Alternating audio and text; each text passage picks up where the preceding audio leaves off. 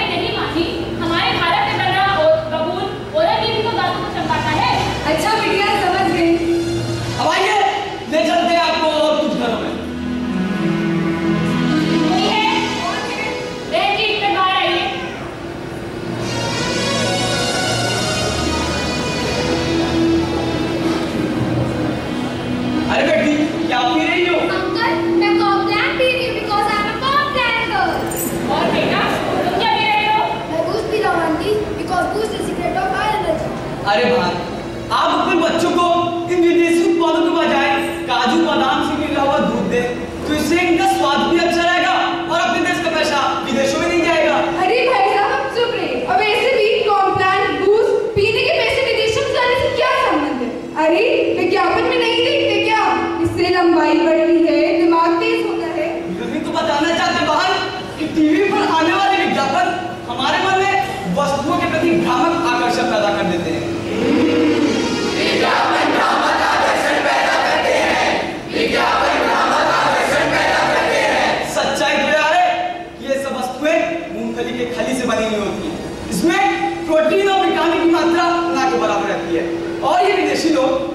और इतने अपने वस्तुओं को इतने प्रभावशाली ढंग से पेश करते हैं कि हम भारतीय हम भारत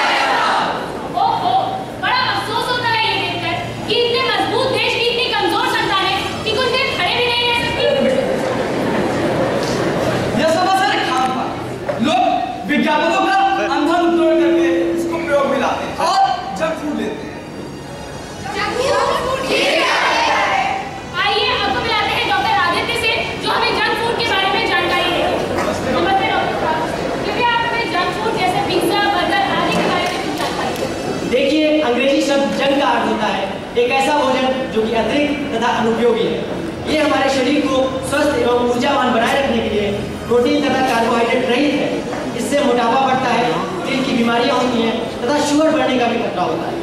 ये जंक फ़ूड हमारी हाजमा शक्ति को प्रभावित करते हैं। लीवर खराब कर देते हैं, किडनियों को प्रभावित करते हैं, हमारी याददाश्त पर भी असर डालते हैं, तथा हमारे शरीर के लिए ज़रूरी मिनरल्स को भी कम कर देते हैं। सुना आपने? जंक फ़ूड अपना बखान स्वर्ग है। जैसा कि डॉक्टर आदित्य ने बताया कि जंक फ़ूड से हम हम लोगों को फ़ायदा तो नहीं बल्कि नुकसान होता है तो क्या? यह सुनने के बाद आप इनका प्रयोग करना चाहेंगे? अरे भैया जैसा कि डॉक्टर साहब जंक फ़ूड का नुकसान बता रहे थे, वैसे ही मैंने सॉफ्ट ड्रिंक्स को पेप्सी और थम्सअप के बारे में भी सुना है। एक परीक्षण में पता चला है, अगर एक अंडे को ब्लैक कोल्ड ड्रिंक में डालकर रख दिया जाए तो अंडे की ऊपरी परत गल जाती है। ये ड्रिंक्स हड्डियों को गला देती है। इसलिए हमें इनके प्रयोग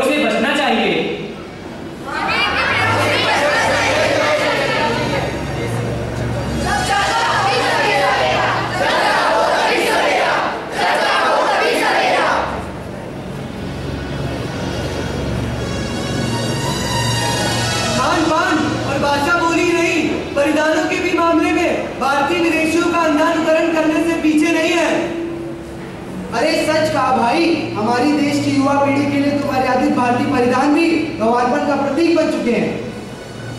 भले ही विदेशियों की नकल करके भारत किए गए लिबास जग हसाई का कारण बने पर आधुनिक होने का झूठा गर्व तो अनुभव ही होता है। हमारी युवा पीढ़ी फ़ैशन के इस दौर में अपने संस्कार सभ्यता एवं संस्कृति को भूलती जा रही है।